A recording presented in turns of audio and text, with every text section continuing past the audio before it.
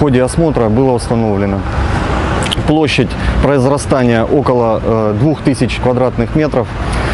Э, Значит, э, на одном квадратном метре произрастало э, два куста э, по внешним признакам схожими э, с растениями конопля.